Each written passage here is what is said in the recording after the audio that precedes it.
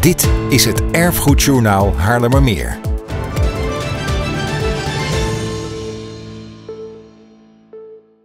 Hi en welkom bij aflevering 6 van het tweede seizoen van Erfgoedjournaal Haarlemmermeer. Wat ga je allemaal zien? We bezochten de afsluiting van het stoomseizoen in Halfweg. Aandacht voor de tweede Airman Candlelight Memorial op 22 december. En de Klaverman ontmoet erfgoedbestuurder Leslie de Graaf. Maar we beginnen met de restauratie van het gemaal De Crucius. Wat deze gebeurtenis zo bijzonder maakt, is dat er een onderwaterrestauratie plaatsvindt voor het behoud van de stortvloer. Vroeger werd het water uit het Haarlemmermeer gepompt naar de stortvloer en vanuit de stortvloer doorgezet naar de ringvaart. Laten we gaan kijken hoe dat precies zit. In de laatste week van september startte de restauratie van de grootste stoommachine ter wereld, gemaalde Crucius. De restauratie, die tot eind 2023 gepland staat, wordt onder leiding van eigenaar Hendrik de Keizer Monumenten uitgevoerd en bestaat uit drie onderdelen. Het restaureren van de balkkoppen van de steunbalken onder de stortvloer, de pompcilinders worden schoongespoten en geconserveerd en de pompzuigers worden gerestaureerd. Er zijn stijgers geplaatst onder de stortvloer, zodat de werkzaamheden aan de balkkoppen tijdens de grote onderwaterrestauraties uitgevoerd kunnen worden. Hierbij worden de balkoppen gecontroleerd en wordt rothout vervangen door een kunsthars. Ondertussen is het museum gewoon geopend. Deze restauratie, dus het onderwaterarcheologieproject zoals we dat noemen, is eh, heel belangrijk voor het behoud van de machine en de collectie. En ook voor het kunnen blijven vertellen van het verhaal. Het verhaal van de droogmaking voor het publiek dat hier in het museum komt. En uh, in dit gemaal kunnen we nog laten zien hoe het in de periode van 1848 tot 1852 het Haarlemmermeer is leeggepompt. En dat verhaal kunnen we nu door blijven vertellen. En dat doen wij ook uh, met het in beweging stellen van de machine. Dus als je de machine ziet bewegen, dan ben je ook als het ware in die periode van 1852. Uh, zoals het toen ging, zo gaat het nu ook. De restauratie wordt zeer grondig uh, aangepakt. En we verwachten dat na deze restauratie, en van dit onderdeel dan dus, dat het nog wel zo'n tientallen jaren mee zou kunnen gaan. Als hoofdaannemer van dit project voert de firma Griekspoor de restauratiewerkzaamheden uit. Op hun terrein in Nieuw-Vennep worden de pompzuigers opgeknapt. Onze rol bij deze restauratie is eigenlijk dat wij de hoofdaannemer zijn. Dus wij pakken het volledige werk uit handen van Hendrik de Keizer. Um, in dit geval gaat het om het restaureren van de ballenkoppen, het conserveren van de cilinders en het restaureren van de pompzuigers. De pompzuigers zijn de zuigers die aan de schakel zitten aan de draagarmen van het krukjesgemaal. En die zie je omhoog en uh, naar beneden bewegen. En die zorgen ervoor dat het water vanuit de Haarlemmermeer op de stortvloer komt en de ringdijk in kan. De pompzuigers worden hier uh, schoongestraald zodat de oude coating eraf is. Die worden daarna geschroepeerd met een zink-aluminiumlaag voor extra duurzaamheid. En daarna met een primer en een aflaklaag afgelakt.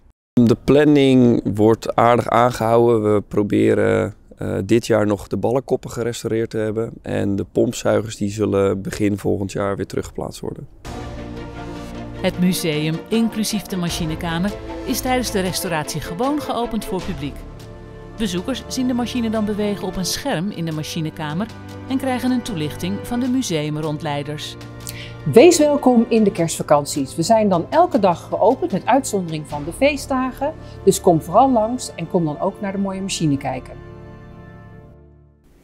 En daar is hij dan, de Klaverman. Die bezoekt iedere aflevering een unieke erfgoedvrijwilliger en zet die in het zonnetje.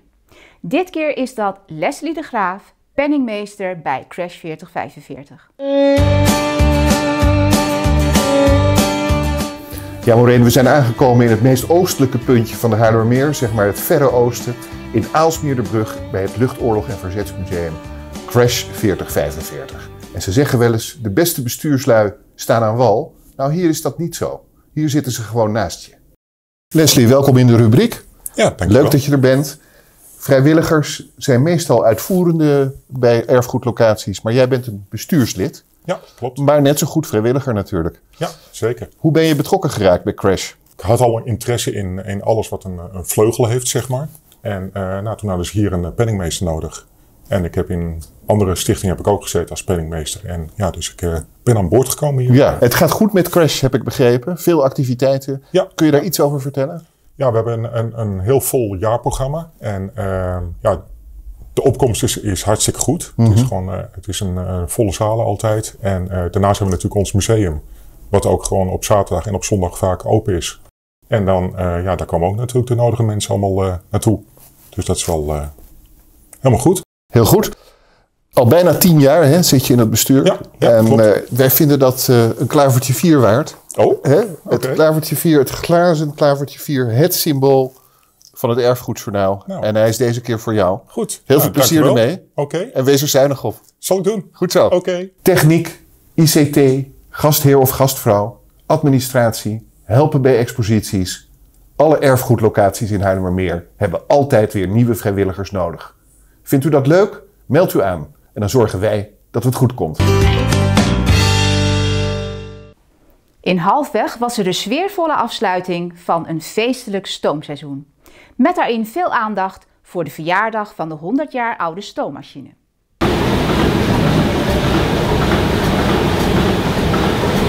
Het jubileum stoomseizoen van Museum Stoomgemaal Halfweg werd op 4 en 5 november afgesloten met een feeriek verlichte slotavond.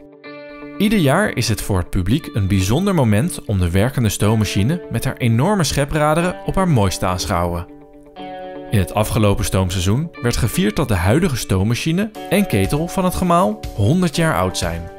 En dankzij alle betrokken vrijwilligers nog steeds prima functioneren.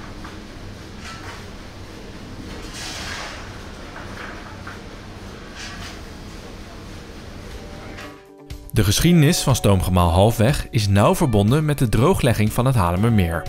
Van 1849 tot 1852 pompten de stoomgemalen leegwater, krukjes en lijnden het Haarlemmermeer leeg.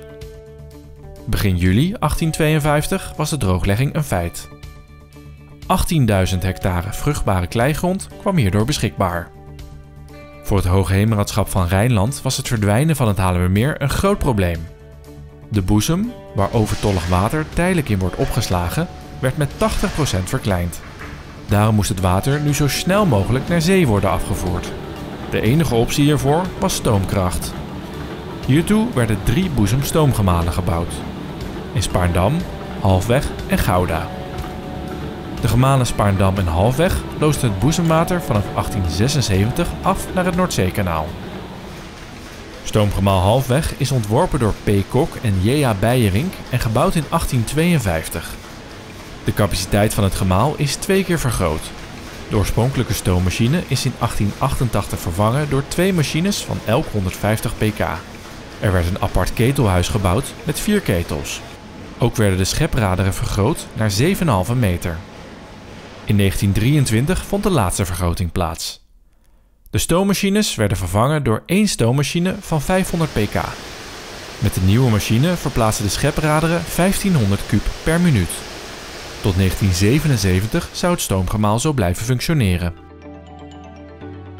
Met de afsluiting van het stoomseizoen 2023 gaat het stoomgemaal voor het publiek in winterslaap. In deze periode zien vrijwilligers toe op het onderhoud en het stoom klaarmaken van de machine voor het nieuwe seizoen. In het nieuwe jaar is dit indrukwekkende schouwspel van de werkende stoommachine met zijn grote schepraderen weer te zien op speciale open dagen en tijdens stoomweekenden. Nieuws en informatie hierover vindt u op stoomgemaalhalfweg.nl.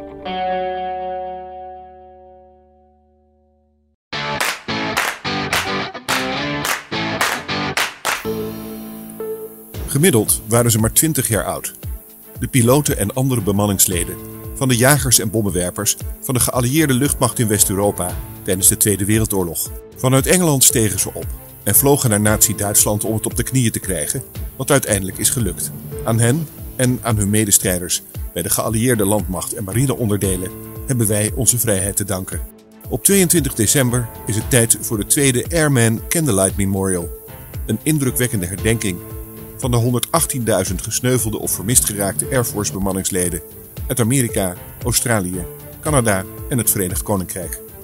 Die herdenking vindt plaats op het terrein van Crash 4045 in Aalsmeerderbrug. Bij de foto's van gesneuvelde luchthelden kunnen bezoekers kaarsjes plaatsen. De aanvangstijd op 22 december is 8 uur 's avonds. En tot zover weer. Fijn dat je erbij was. Wil je nou geen nieuws missen rondom Haarlemmermeers erfgoed? Abonneer je dan op dit kanaal.